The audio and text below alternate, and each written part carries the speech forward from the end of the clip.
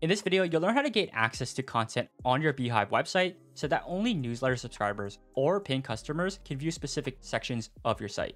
For example, you can choose to gate access to exclusive videos so that only paying subscribers can watch them, or you can gate lead magnets so that only active newsletter subscribers can download them.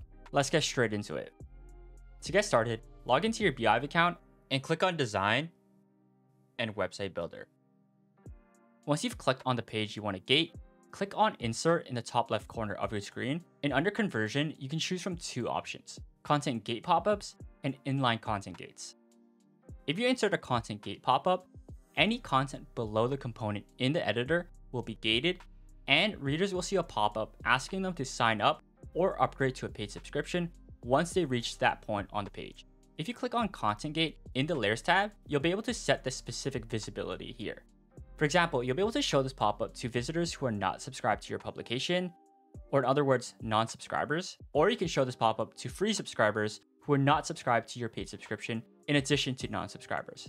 In addition to this, you can edit the design and appearance of the pop-up by clicking on Edit Pop-up.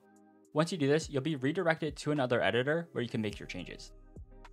Now, if you insert an inline content gate, you can also gate content at a specific point on your webpage, but instead of appearing as a pop-up, the gate will show up directly in the web page content itself.